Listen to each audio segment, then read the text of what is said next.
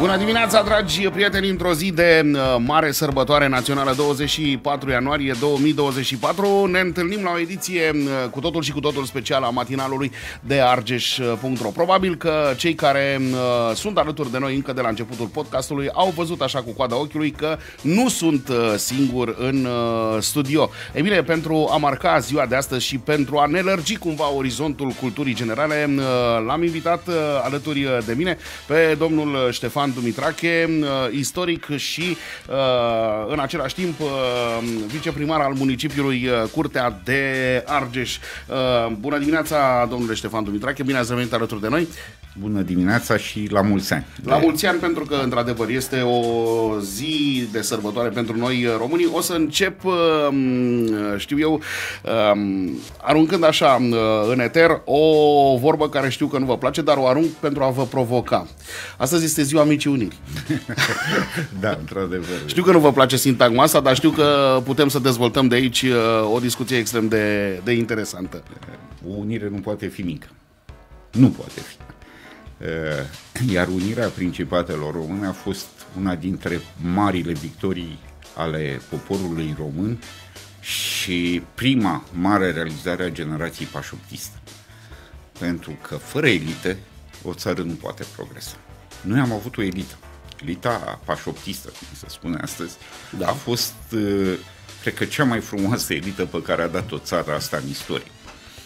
Când tânăra boierime a plecat la studii în Occident și acest este meritul, trebuie să-l spunem, al lui Dinicu Golescu. El a spus, gata cu răsăritul și cu sudul, dar cu înainte către Occident. Acolo este, frate, orientarea noastră și de acolo putem învăța să ne dezvoltăm. Cum Dinicu a avut Golescu. Dinicu Golescu această revelație? După călătorie. Dinicu Golescu a călătorit în Occident. S-a mai întâmplat ceva, pe lângă faptul că a călătorit mult, undeva în Elveția, a cunoscut o organizație care noi îi spunem discretă, numită francmasonerie și a fost acolo inițiat într-o lojă din Geneva, aparținând de Marea Lojă Alpină Elvețiană. Oamenii aia de acolo i-au arătat ce poate face pentru țara lui. Și Dinicu Golescu a înțeles, ai nevoie să creezi elite. Și a fost primul care și-a trimis copiii la studii în Germania și Elveția, iată, l-a sfătuit la fel pe prietenul lui, foarte, foarte bun, Dincă Bretian. Copilul Dincă Bretian au fost ceruți de Chiselev să meargă la studii la Sankt Petersburg. Dincă Brătianu, după ce a avut să discuțiile cu prietenul său, știa că nu e cea mai bună idee și a zis sunt prea tineri. Și a trimis tot în Occident, mai exact la Paris. Iată că Occidentul a însemnat o altă perspectivă. Nu numai Franța, să nu înțelegem. Franța, Elveția, statele germane, Viena, au da, avut da, toate da. rolul lor. Bruxelles, extrem de important, Bruxelles, Italia, cu atât de fărâmițată când era ea atunci. Da. Ei, toate aceste energii, toți acești tineri, repet, din, uh, proveneau din boierime, nu erau boierime mai veche, mai nouă, asta este mai puțin uh, important, dar toți oamenii ăștia erau deschiși către modernitate. Și oamenii ăștia au venit în țară cu un scop, să facă o țară nouă, au avut... Să facă o țară ca afară. Da, pe principiul ăsta, chiar pe principiul ăsta. Da. O țară nouă, o țară unită și o țară liberă. Și au început să lucreze.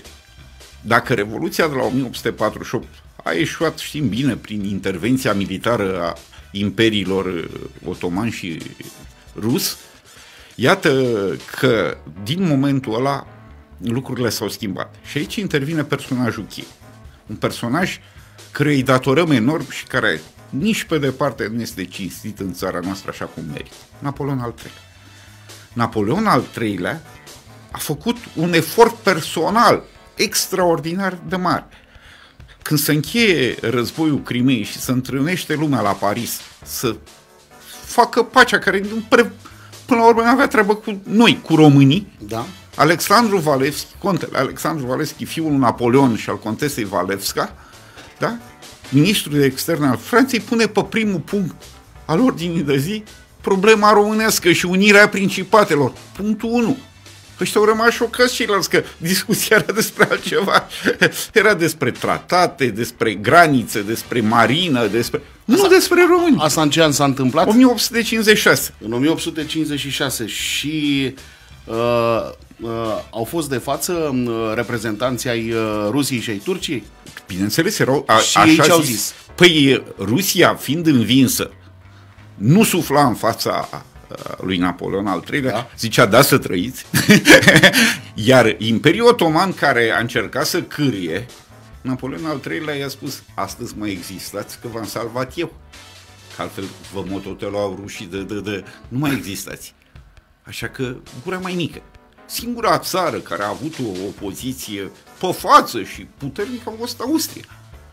Tot nu Austria. exista Austro-Ungaria la vremea, Tot era Austria. doar Austria. Tot Austria. Da, Imperiul Austriac a, fost, a făcut o opoziție clară, dar faptul că Prusia s-a situat de partea noastră a subminat poziția Austriei. Pentru că Prusia urmărea și ea să se întregească și avea niște obiective extrem de clare. Rușii, pe de altă parte, dacă pe față au fost de partea noastră, au intervenit însă în mecanism în mecanismul care urma să se desfășoare în țara noastră, adică alegerea unor adunări care să stabilească cum și în ce fel să face unire. Tipic Rusiei. Tipii Rusiei și Da. da. buni, trebuie să recunoaștem, buni la capitolul ăsta, întotdeauna au găsit cozi de topor și găsesc și astăzi că sunt profesioniști. Am Au, văzut. au, au nas când e vorba să-și găsească clientel. Și de data asta, cu ajutor otoman, care și otomanii aveau exact același scop, au găsit uh, pe Co- uh, Costache Vogoride, pe acest uh, nu știu cum să zic, personaj uh, total uh, pitoresc, să spunem. hai să nu vorbim cu cuvinte, care era Caimacam al Moldovei. Am avut și un noroc că Balș, uh, Caimacanul Balș, care era, una, era un antiunionist și puternic și bogat și influent, a murit. Așa. Binecuvântat să fie, că dacă nu murea la timp, nu știu dacă se făcea unire. Uh, Balș ținea Moldova în mână cum voia el. E probabil și Dumnezeu a fost de partea A noastră. fost clar de partea noastră. Uh, ei, Vogoride a vrut uh, și a reușit să falsifice alegeri. Pentru că nu era totuși suficient de inteligent, a cerut sfat cum să facă asta. Și a făcut o adevărată corespondență cu Constantinopolul, unde cei care puneau la cale era un vizir otoman și cu ambasadorul rus. Combinația, o combinație total O nefericită combinație pentru noi. Da. Nefericită, da. A falsificat alegeri. Care alegeri? Alegerile pentru adunarea Moldovei. Am înțeles, da. din uh, 1857. Din fericire pentru uh, țara asta, soția lui Vogoride era îndrăgostită de Cuza. Cel care candida. Nu candida încă. La vremea Nu aia nu era. candida Când încă. se schimb, era un unionist convins. De altfel, toată ascensiunea în uh, regimul Vogoride al lui Cuza îi se datorează Cocuței Conachi Vogoride, sora lui Costache Negri, soră Vitreg. E, Cocuța fură scrisorile de la soțul ei, Care trebuiau să plece către Nu, Constantinopol. care v- veniseră de la Constantinopol. care veniseră, Care așa. veniseră, îi le dă lui Cuza, Cuza ca să nu compromită pe doamna, îi le dă lui uh, Negri, că era fratiso, și el ajung la Bruxelles și Paris și sunt întâmpărit. Este momentul în care Napoleon al III-lea ia foc. Se consideră înșelat, se consideră, uh, în primul rând, i s-a pus pata pe otomani, uh, l-au înșelat, da. dar se izvește de o piedică total neprevăzută de data asta, Marea Britanie. Marea Britanie îi zice, nu, domnule, alegeri dezvalabile. Păi ăsta zice, cum să fie valabile? Că am dovada că s-a furat, da, dar nu pasă. Și e, în 1858 face un gest Napoleon al III-lea care nimeni, niciodată în istorie nu l-a făcut pentru români. Își ia nevasta, împărăteasă Eugenie, și pleacă pe insula Osborne, unde regina Victoria era în vacanță cu familia și se duce la ea să-i ceară anularea alegerilor din Moldova. E incredibil. Uh, Ce implicare la ce nivel? Iată. la ce nivel? De, încă o dată, de personal și de împărat al Franței. Adică, totuși, o, o marele învingător din războiul Crimei. Bun, uh, da, uh, eu am o curiozitate. Ce l-a mânat pe Napoleon al III-lea să facă acest lucru? Că totuși uh, nu este un lucru din sfera asta de confort. Adică, doamne, mă duc expres să mă întâlnesc cu regina Angliei ca să discut despre problema unei mici țări din estul Europei. Uh, Napoleon, în primul rând, a aparținut și el unei organizații secrete, una nu așa pașnică cum e francmasoneria, una ceva mai violentă, carbonarii italieni. Da. O mișcare secretă și revoluționară. El, uh, în primii ani de domnie, nu a putut să facă nimic pentru Italia și nici nu era atât de dornic să deranjeze echilibrul european care se instaurase. Drept pentru care carbonarii au încercat să-l omoare. De el, în cadrul mișcării acestea, a cunoscut mulți români. Pentru că erau și români.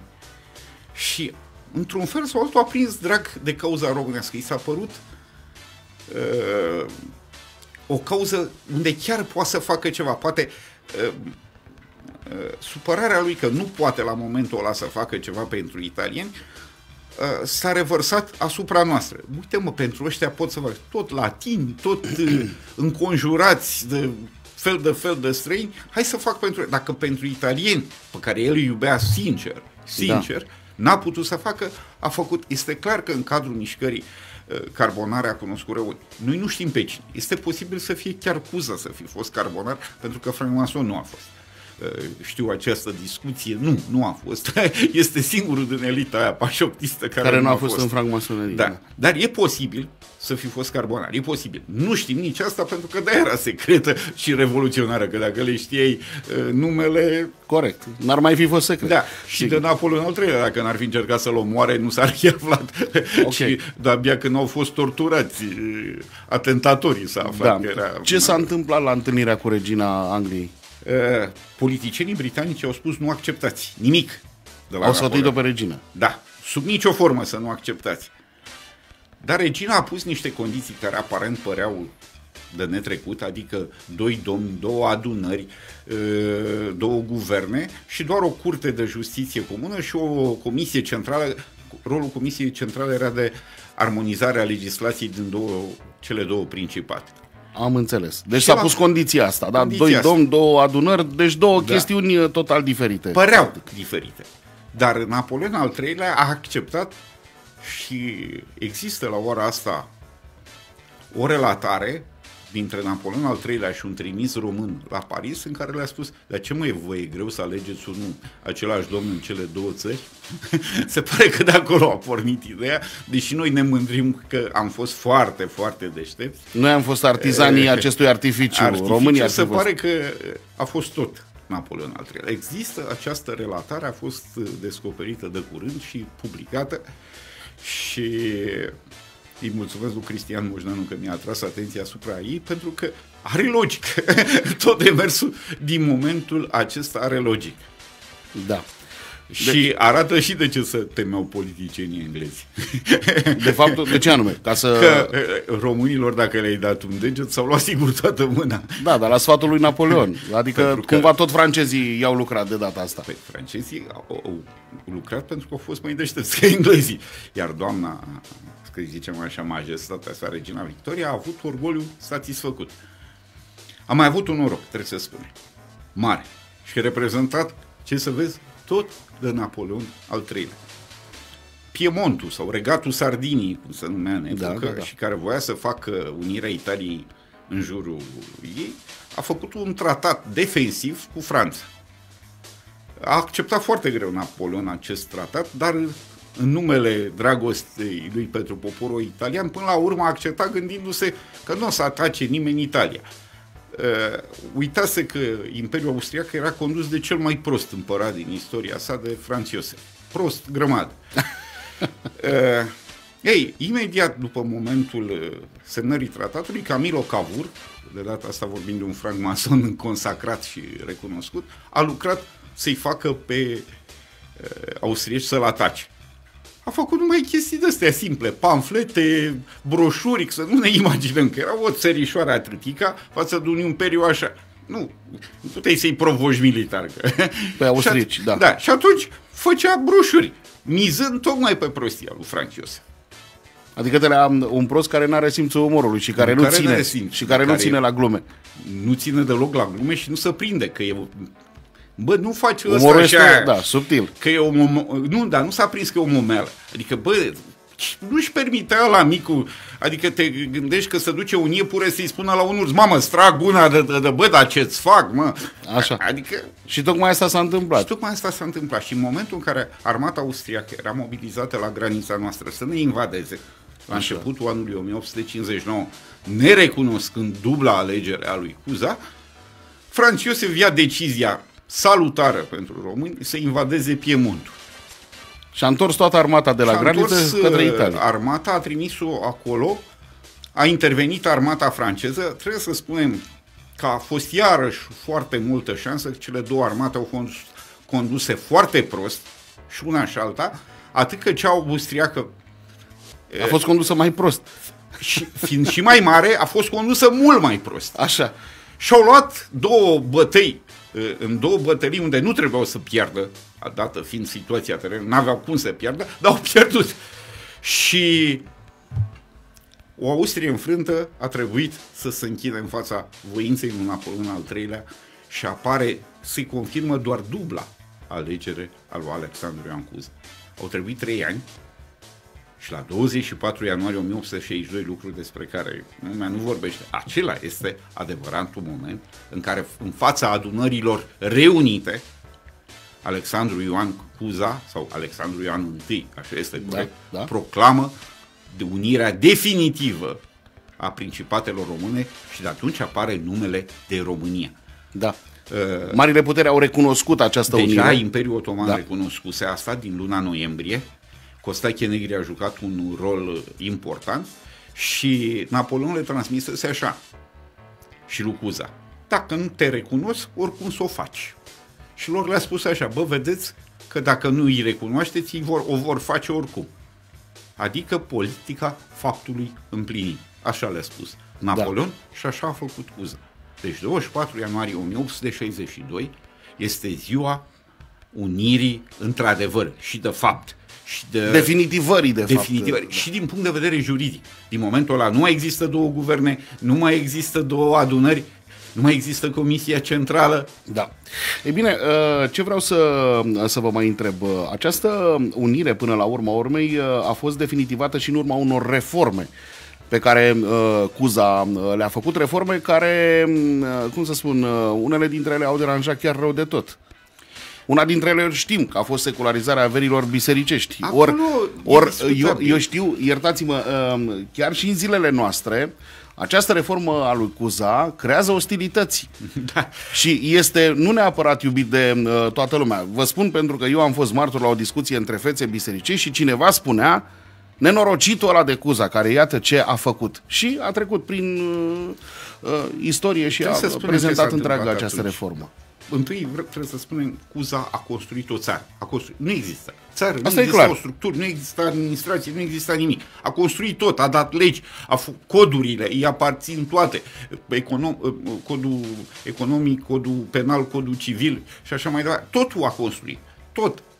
Dar în privința secularizării averilor mănăstirești, 22% și 20% în celălalt principat din suprafața țării aparțineau bisericii, iar din această suprafață, 90% aparținea mănăstirilor din afara țării. Atenție, din afara țării. Muntele Atos, Constantinopol, Locul, Ierusalim, Da. da. Alexandria, Sinai și așa mai departe, Meteora. Uh, Problema este că în 1835 aceste averi au fost supuse impozitării. Și cu toate astea, din 1835, prin regulamentele organice, și până în 1863, n-au plătit niciodată impozit. Niciodată. Un leu. Atenție. da. Cusa le-a spus, bă frate, aveți datorii, plătiți-vă impozite. Nu le-a cerut pământul. N-a vrut să le ia. I-au zis nu. Bun, uite, facem altceva. A trimis o delegație la Constantinopol. A luat un împrumut de 60 de milioane de franci aur Da. și a oferit patriarhului Constantinopolului, incluzând aici Atosul și pe toți ceilalți implicați, pentru acest pământ, plus impozitele restante, a zis. 60 de milioane franci aur, plus impozitele restante. Practic să cumpere toate Să aceste cumpere, suprafețe da. de pământ. Ei, eh, 60 de milioane le convenea, dar nu le-a convenit că le-a socotit și impozitele restante, care erau reale, repet, reale. Cuza a mai făcut un efort și le-a spus 90 de milioane de franci aur. A mai împrumutat încă 30 de milioane de franci aur de pe uh, piața bancară franceză. Este o sumă enormă, credeți-mă, enormă. Și nici așa n-au vrut. Dar atenție, nu e ierarhii români.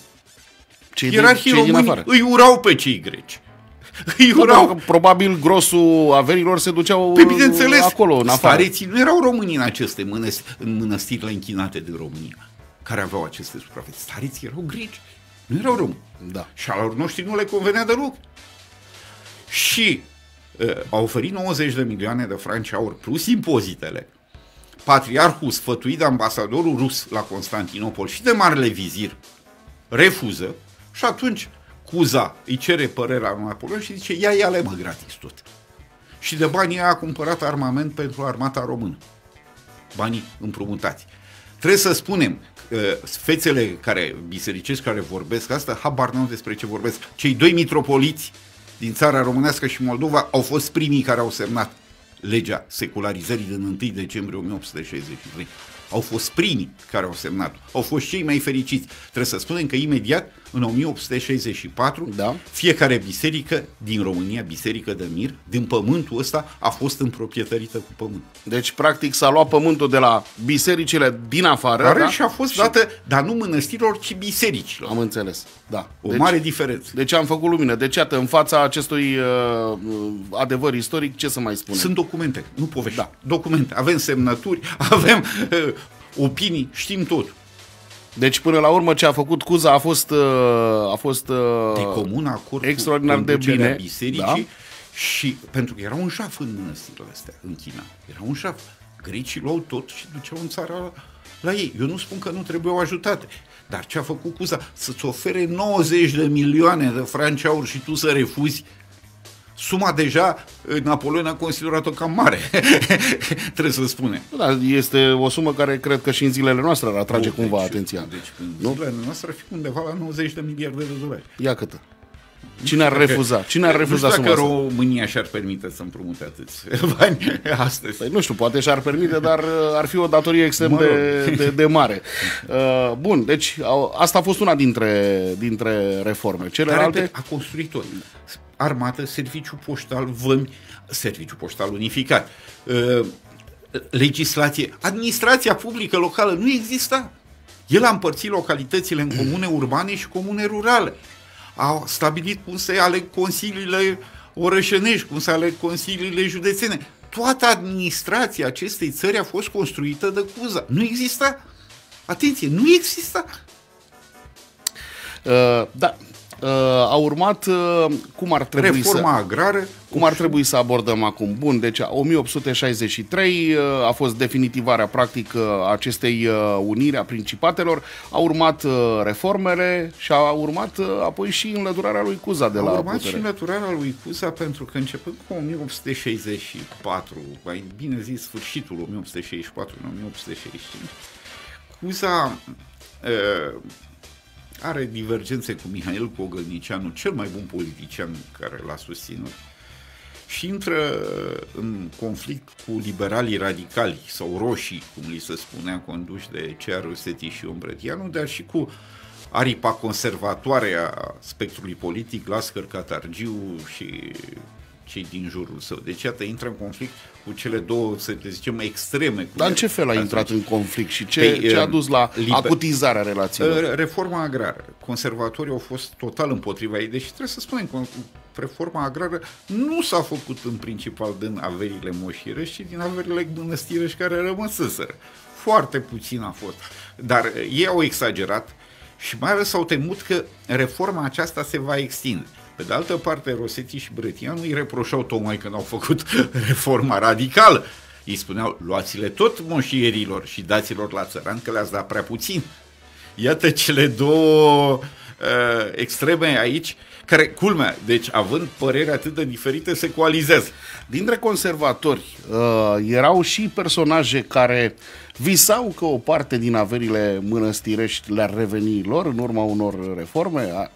A- Existau astfel de personaje? Se spune că existau, nu este dovedit. Ei erau, conservatorii erau adepții tradiției, spuneau, domnule, noi, conservatorii, suntem singurii moșierii mari care putem face agricultură modernă. Că agricultura Iată, modernă în se ideea face asta. pe suprafețe mari. O idee absolut corectă de altfel. Liberalii spuneau, bă, hai să luăm pământul ăsta că avem în fiecare an un număr de familii tineri. Da. Așa numiți însurăței, că va exista și o lege pe care o va da Ion Brătianu a însurăței. Și să-l dăm Și acolo. să da. dăm fiecare noi familii, să putem să-i dăm în fiecare, e, atunci când se căsătoresc, să-i dăm o bucată de pământ. Da. Adică fiecare avea dreptate în felul lui. Și ei aveau dreptate că agricultura să face pe suprafețe mari. Astăzi cred că este un adevăr pe care nimeni nu-l poate contesta și trebuie cineva să aibă... Apăruseră mașinile, începuseră să apară mașini agricole uh, în perioada aia. Apăruse pentru prima dată ideea de îngrășăminte, să aducea guanul după în Chile și așa mai departe. Deci iată, uh, începu salpetru de Chile și așa mai departe. Iată că apăruseră primele elemente moderne în agricultură. Fiecare avea dreptate. Bă, Brătianu din punct de vedere social și Grosetti, Catargiu și ai lui din punct de vedere economic. Pentru că, de fapt, ce lipsea în României, și asta înțelegeau, de fapt, absolut toți, era industrie. Care să atragă surplusul de forță de muncă din mediul rural ca să nu mai existe. Ori aici erau de acord toți că ne trebuie industrie. E, uh, mă iertați puțin, pe aici este un paradox. Practic, conservatorii nu erau conservatori având viziunea asta. Categoric. Erau, din, pro, din potrivă, erau chiar progresiști. Erau chiar uh, progresiști, avem exemplul lui Petre Carp, care omul Da. da. chiar a făcut niște lucruri extraordinare. Omul a făcut școală de agricultură pe moșia lui. Ia câte. Da, deci Petre Carp, din punctul ăsta de vedere, el astăzi este criticat pentru atitudinea pro-germană, care e discutabil dacă a fost atât de rea. Dacă stai să analizezi multe elemente a ceea ce s-a întâmplat, atunci a avut și el dreptate. Toți Da. au avut dreptate. Deci iată-l pe uh, Cuza, Prins uh, între prins cele între două. Ciocan și Nicovală. Și uh, Cuza e cam pierechef.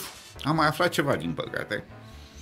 Uh, Napoleon, uh, dornic acum, după ce i-a învins pe austrieci să facă unitatea Italiei, le-a propus uh, austriecilor să dea Veneția, toată regiunea Veneția, nu orașul, toată regiunea Veneto, cum îi spune azi, Italiei, în schimbul principatelor române.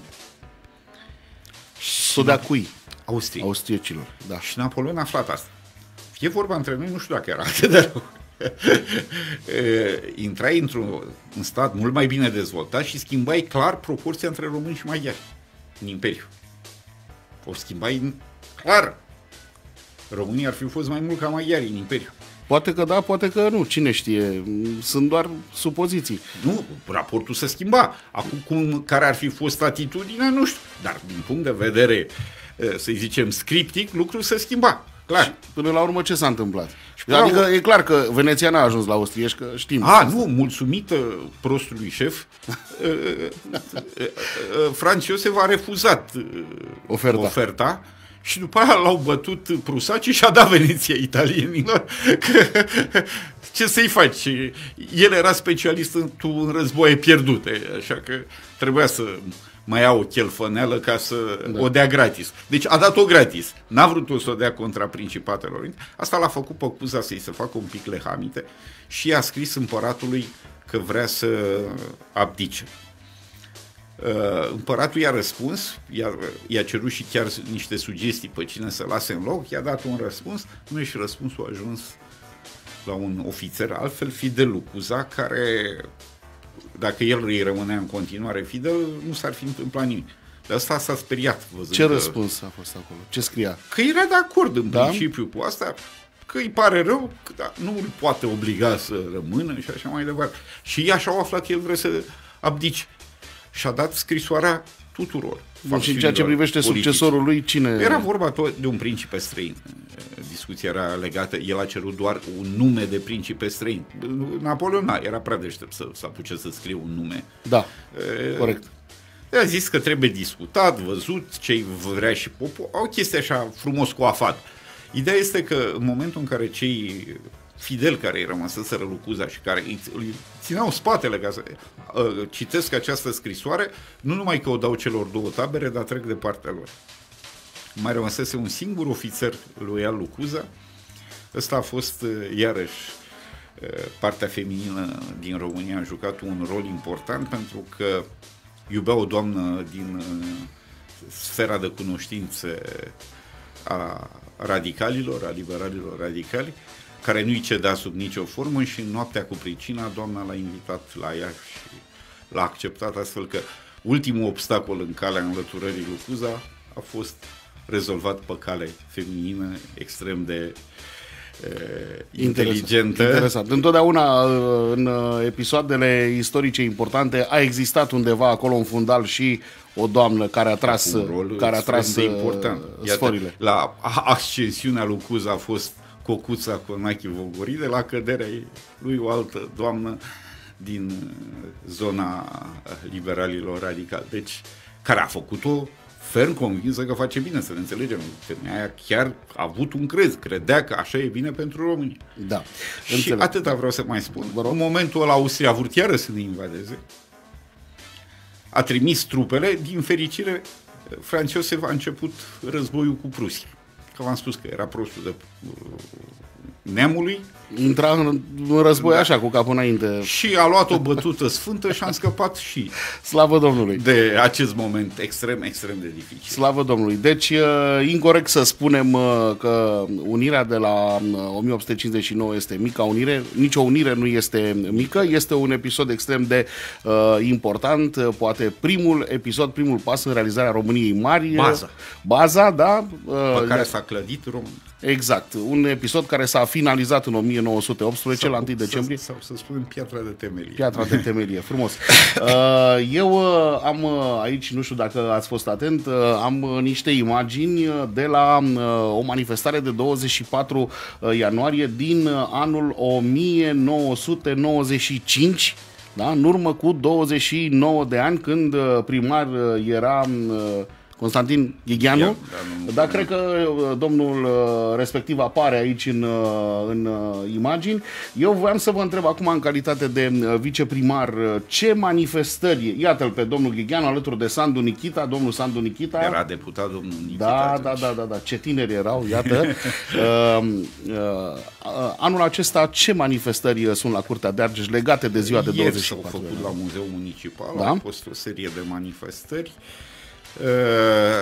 înțeleg că, din punct de vedere, partea, cum eram noi obișnuit, uh, ție, partea festivă cu armata, nu se poate face din motive care țin de stadiul actual al pregătirilor uh, pe care le face armata română în contextul amenințărilor externe, se făcut doar în capitalele de județ Da.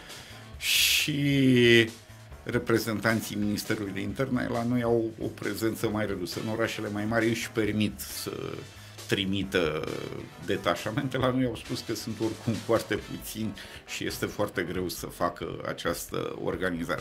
Astfel că s-a lăsat și la Liceu Auto, a fost o manifestare superbă, iar trebuie să-i felicităm pe cei de acolo, pe domnul director Călinescu, care a făcut o manifestare de nota 10. Deci, iată, s-au făcut pe zona educațională, pentru că și la muzeu au venit copii, elevi și îi felicit pe toți directorii de școli care au luat inițiativa să organizeze Ziua Națională a Unirii Principatelor Române. Le, îi felicit din tot sufletul pentru că asta arată că înțeleg necesitatea cunoașterii de către copii acestui eveniment colosal din uh, viața poporului român. Sigur, îi felicităm pe această cale. Eu vă mulțumesc pentru că aceste imagini sunt oferite chiar de Muzeul Municipal. În urmă cu câțiva ani am intrat uh, în uh, posesia lor și găsesc că sunt extrem de uh, interesante. Uh, domnule uh, Ștefan Dumitrache, vă mulțumesc din suflet pentru că ați fost alături de mine. Sunt sigur că uh, cei care ne-au urmărit au găsit extrem de interesantă și mai mult decât atât importantă discuția noastră uh, din uh, această uh, dimineață. Ne vedem data viitoare la următorul eveniment istoric uh, important. Până atunci vă doresc toate cele bune, multă sănătate și tot ce vă doriți. Doamne ajută, mulțumesc!